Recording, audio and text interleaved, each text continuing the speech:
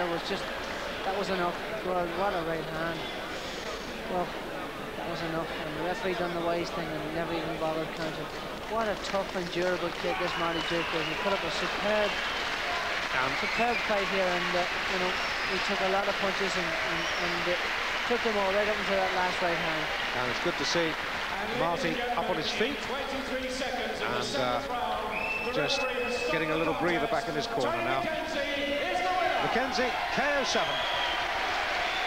And I tell you, it's one of the better knockouts we'll see this year.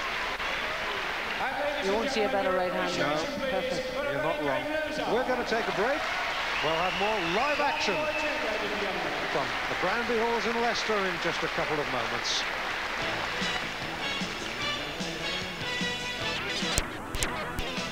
At knocking Tony McKenzie out tonight.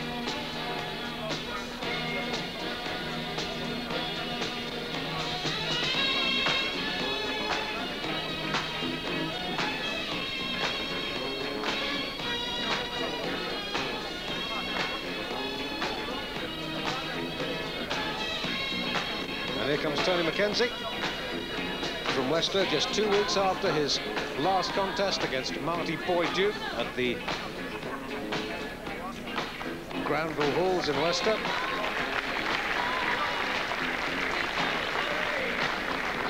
Rated number four in the UK. Marty Boy Duke. That was a cracking contest, actually. Seven rounds. Duke was down in round one. Took another couple of counts, but was finally dealt with a corker of a right hand in the seventh.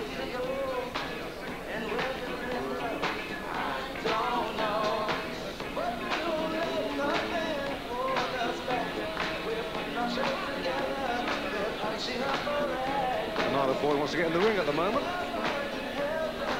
Gordon doing a little bit of shadow boxing for the benefit of our ringside camera. Oh, come on, gentlemen, let's have the pair of you.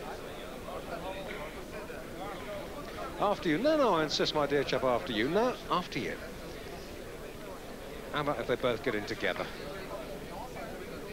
Carrying the old psychological bit a little bit too far, Yeah, it used to, used to be like that. Uh, I remember the fighters used to pretend they were going up the stairs. Hopefully the other guy would then start and then one of them would, would come back down again. Blair's gone walkabout.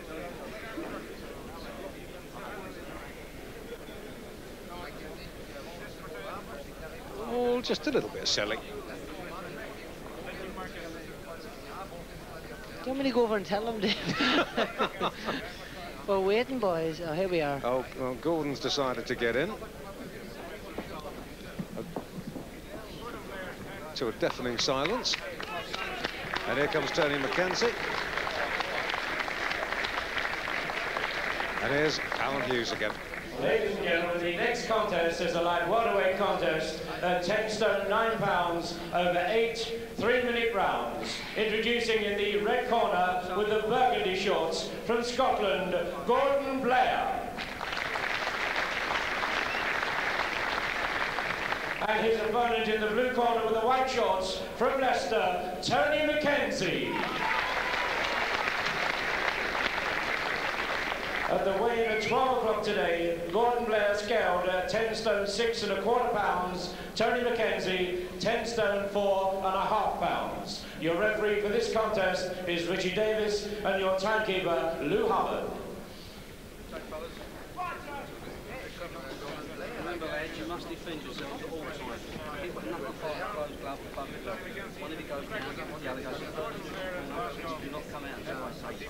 One bit like 36 on fellas. That's when I break, you both take that step back. You got that? You got that? Take it. Oh, there's Tony McKenzie.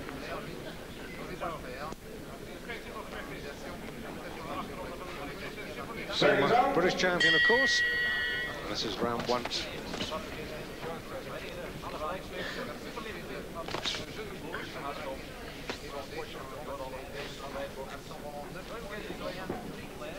Bit of a contradiction to start there where, the, where Alan said that it was a light welterweight contest. I made that nine stone, or 10 stone nine. It's, it's more like a welterweight. The welterweight division is 10 stone six, so. Should have called it a welterweight. Both guys weighed within the welterweight division. But uh, there's no doubt that Tony McKenzie is a genuine